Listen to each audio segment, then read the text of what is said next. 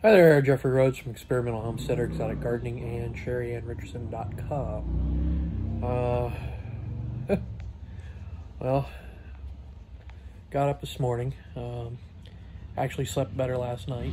Um, I've uh, actually gone back to using uh, breathe-right strips because um, I tried one the other night, and Sheri said that I didn't snore as much um, with it. So um, I went back to trying them um, to see how, you know, whether it makes a difference.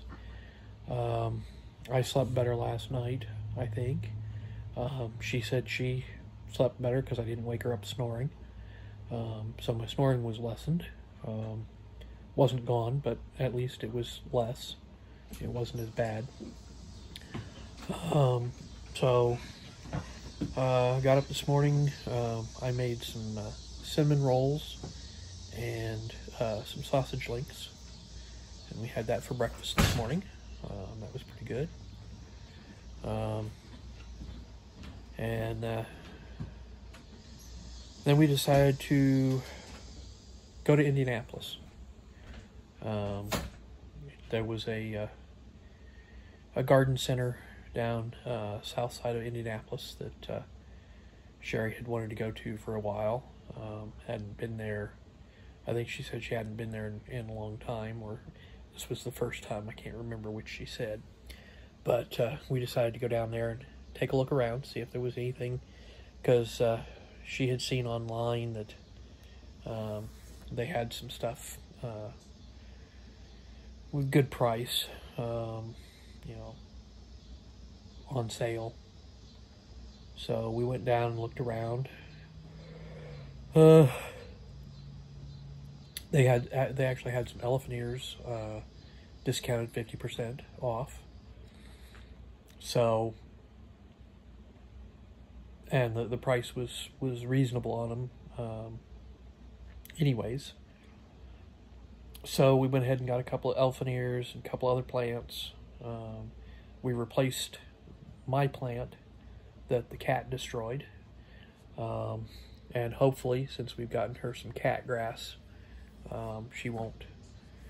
I think she's been leaving the, the plants alone recently. Uh, most of them are outside, so she can't get to them. But I think since we got her the cat grass, that's going to alleviate. So I'll be able to put my plant back uh, in the head that we bought uh, that I wanted the plant for. Um, and uh, it's smaller than the one I had, uh, but it'll grow. Um, it basically gives the head a spiky hair appearance. um, the the head is is it's a basically kind of a planter. Um, that's the way it's designed, um, and it's a Easter Island uh, head type of shape. Uh, that's what it kind of looks like. Is an Easter Islander, um, and so uh, I wanted to get another plant to go in it, give him spiky hair. And uh, so we found this one. It's small, but it was cheap. So, um, and then we, uh, she actually got contacted while we were down in Indianapolis. There was a guy down there that she had been uh, talking to about some plants, and uh, he had one available, and uh, he was just, you know, hop, skip, and a jump away from where we were at.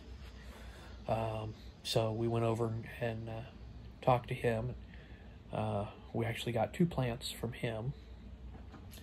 And uh, so then we headed up and went to uh, Allisonville Nursery and uh, looked around there. Um, found a couple of small, you know, plants there. Nothing really major that we, you know.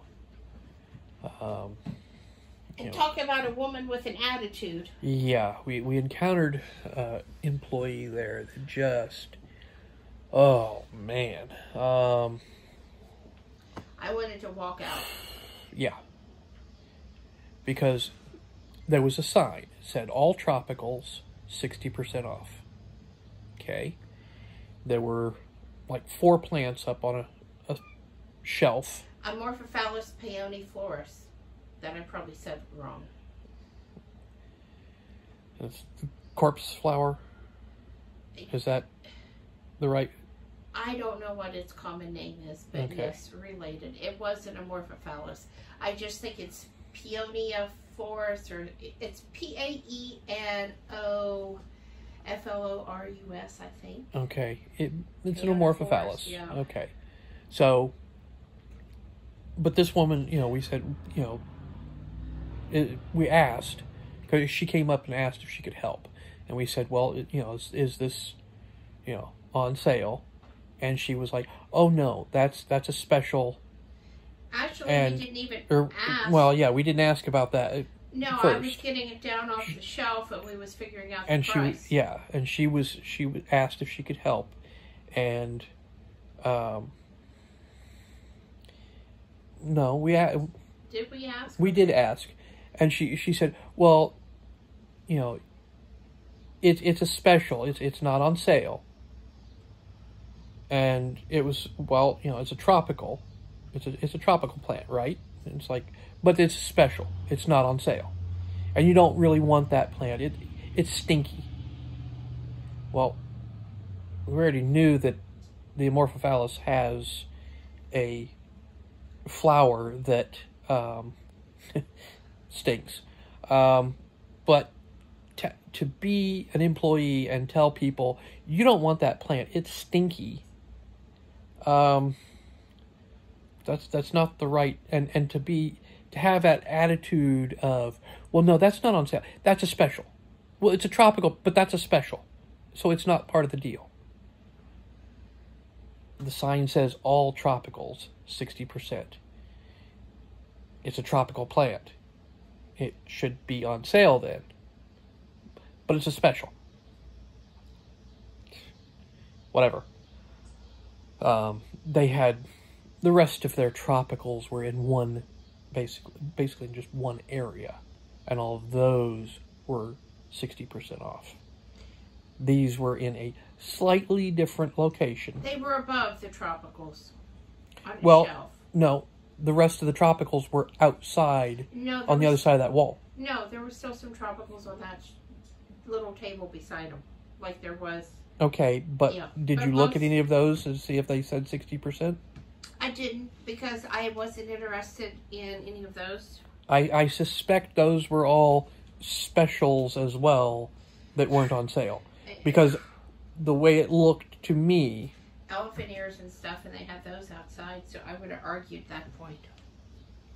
you know it looked like most everything that was on sale was sitting outside the building you know on the other side of that wall It was just her, so but her that attitude and her tone of voice. yeah yeah And talking down to me like I was buying a plant that I knew nothing about. right That Right. really pissed me off. Yeah. Oh, oops, someone else was saying that on YouTube. Well, Nope. too late. Okay, I think our uh, buzzer's going off. Do I Yep. need to do anything or just pull it out? just take it out if it looks done Okay.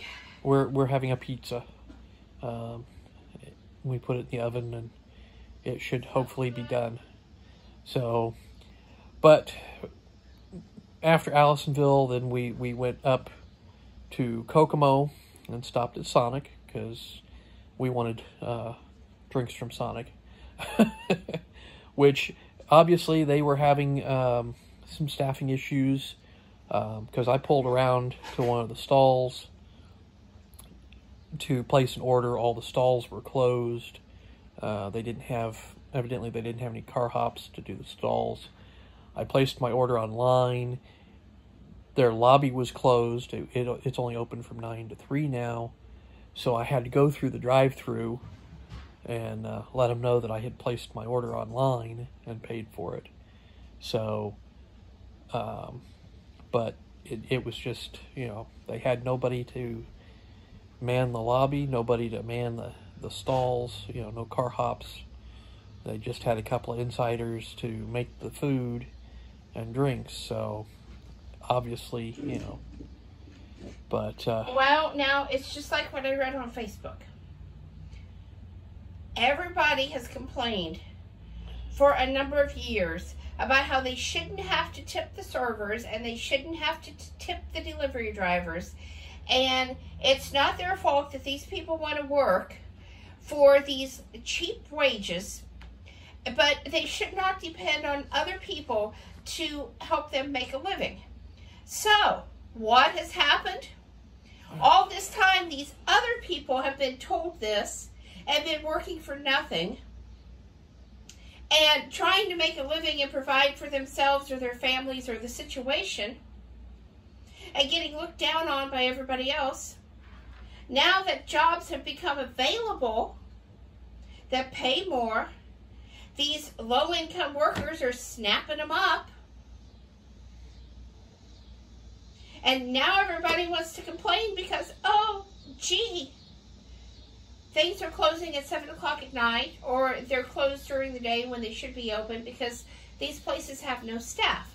So the next time before somebody complains, maybe they ought to think about tipping their server, tipping their delivery driver, and being thankful and even saying thank you to them and being thankful that these people out here want to work a job that they can't even put food on their table, but they want to be there in service of others.